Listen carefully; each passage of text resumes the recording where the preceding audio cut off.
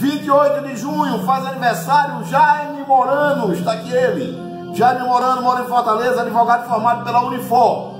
Advogado sócio na banca Morano e Tavares Advocacia. Feliz aniversário, muitos anos de vida.